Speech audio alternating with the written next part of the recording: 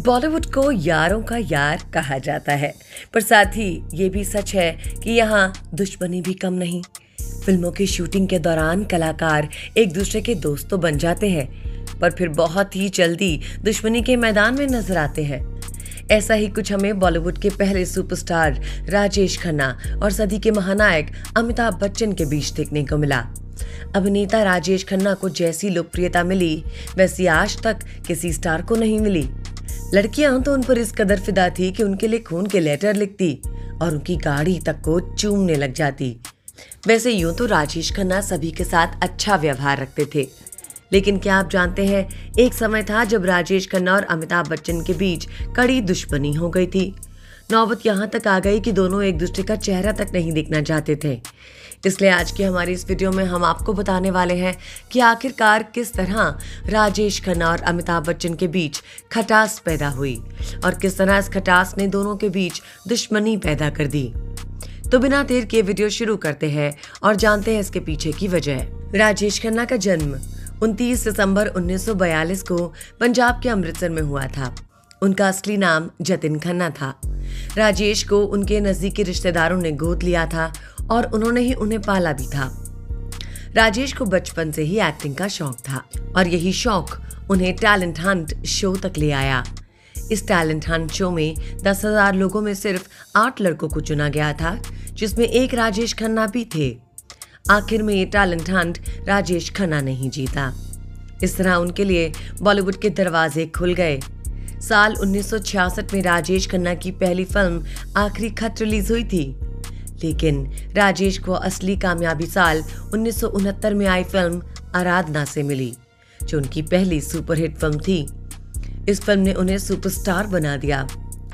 उन्नीस सौ उनहत्तर के 1975 के बीच राजेश खन्ना ने लगातार 15 सुपरहिट फ़िल्म दी।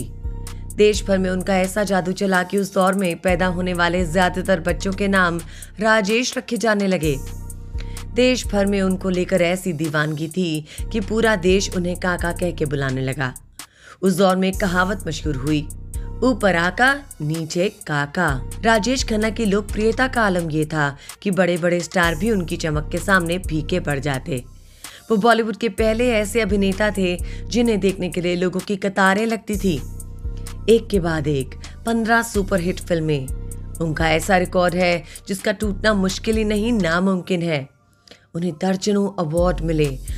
अवार्ड समारोह कोई भी हो, उसमें काका की मौजूदगी की रंगत भरती थी। बताते चले, अमिताभ बच्चन जिस दौर में फ़िल्मों में अपनी पहचान बनाने की कोशिश कर रहे थे, उस वक्त राजेश खन्ना सुपरस्टार हुआ करते थे। दोनों की पहली मुलाकात आनंद फ़िल्म के सेट पे हुई।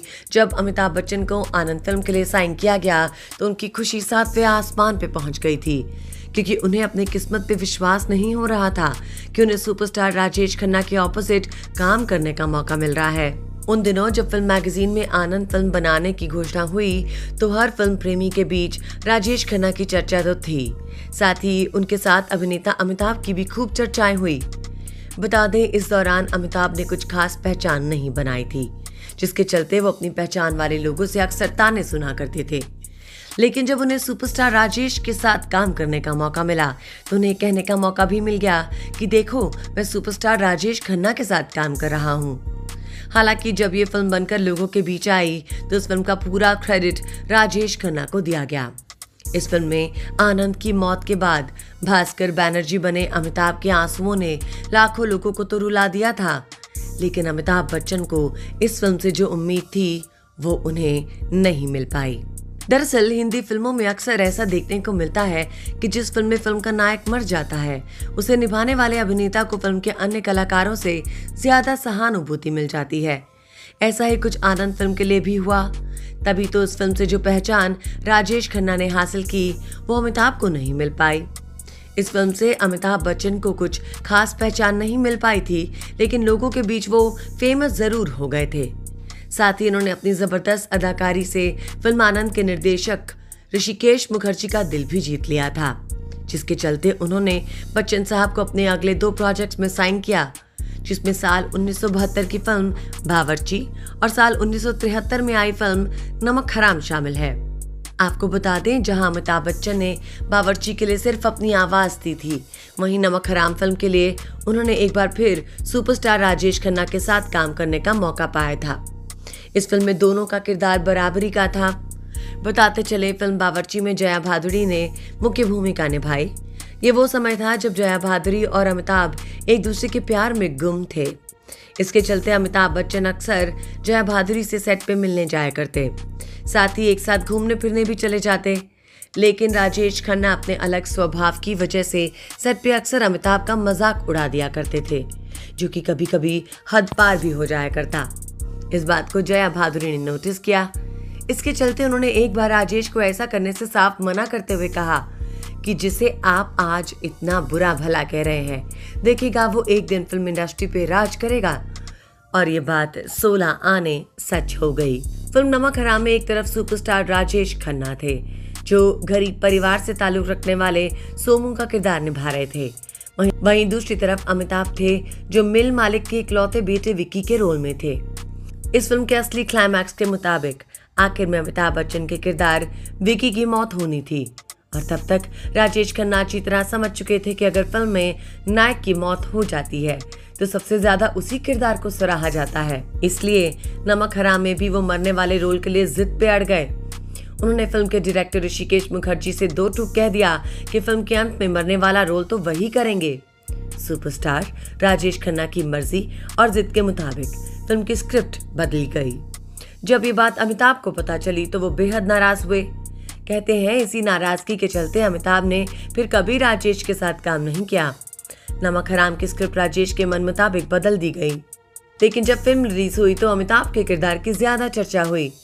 फ़िल्म समीक्षक से लेकर मायानगरी के गलियारों में अमिताभ के रोल की खूब तारीफ़ हो रही थी। जंजीर फ़िल्म में अमिताभ ने अपने रोल से जो गुस्सा और इंटेंसिटी दिखाई, उसे नमक हराम में कहीं ज़्यादा बेहतर किया गया, जो दर्शकों को बहुत पसंद आया। बता दें नमक हराम की वो पहली फ़िल्म थी, जिससे फ़िल्म इंडस्ट्री में सुपरस्टार की कुर्सी राजेश खन्ना से अमिताभ की तरफ़ खिसकनी शुरू हो गई थी। इसके बाद अमिताभ बच्चन साल 1975 में आई ब्लॉकबस्टर फ़िल्म दीवार और शोले में शानदार प्रदर्शन करते हुए नज़र आए और कड़ी मेहनत करने के बाद उन्हें महानायक का टाइटल हासिल हो गया। तो दोस्तों, ये थी वो वजह जिसने सदी के महानायक अमिताभ बच्चन और राजेश खन्ना के बीच दुश्मनी पैदा की थी। आपको राजेश खन्ना की फ़िल्में ज़्यादा अच्छी लगती है या फिर बॉलीवुड के शहनशाह अमिताभ की? हमें कमेंट बॉक्स में बताइए। और ऐसी दिलचस्प बातों को जानने के लिए हमारे चैनल को सब्सक्राइब करना नहीं भूलिए।